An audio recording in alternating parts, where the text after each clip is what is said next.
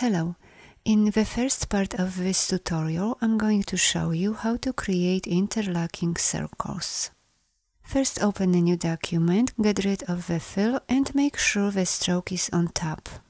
Now press the letter L for the ellipse tool or select it from the toolbar panel and draw a circle. With the circle still selected, press the letter R for the rotate tool or select it from the toolbar panel. Now, holding down the Alt key, click in the middle between the center and the edge of the circle to set the rotation point. Type 120 for the angle and click Copy. Then press the Ctrl and D keys on your keyboard to make one more copy. Next, we will set guidelines in the intersection of each circle. This will help us later with applying a gradient. First, select everything and then press the Ctrl and R buttons on your keyboard to show the ruler. Now click in this corner to select both rulers, hold and drag. Where you are dragging your mouse, press the Ctrl key as well. Position your cursor over the center of the first circle and release your mouse. Then release the Ctrl key. Select everything again, click on the left ruler and drag it to the center of the next circle. Finally, drag two more guides to the center of the bottom circle. Let's hide the guides and the ruler.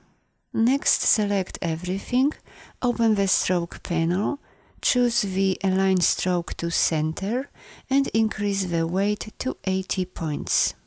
In the next several steps, we will copy these circles by offsetting them outward. First, let's convert them into shapes. Go to Object and select Expand. Make sure the fill and the stroke are checked and click OK. Then go to Object again, select Path and Offset Path. Check the preview box, highlight the offset number and using the up or down arrow keys on your keyboard, adjust the offset. Now select the fill and let's change its color to pink. Next select everything, then go to the Shape Builder tool and now we will unite some of the parts and delete the other ones to get this effect.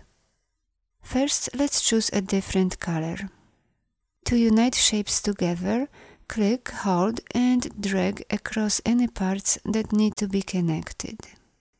It is a good idea to have a sketch for reference.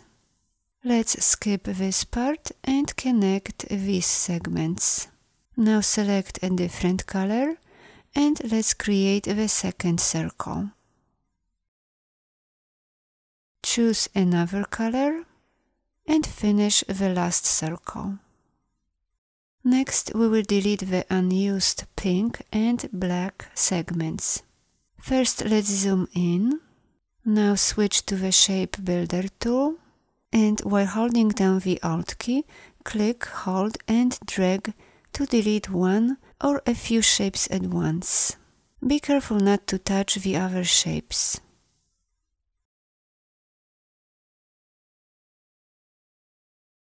To move the artboard, press and hold down the spacebar, then click, hold and drag. Now let's delete the rest of the segments.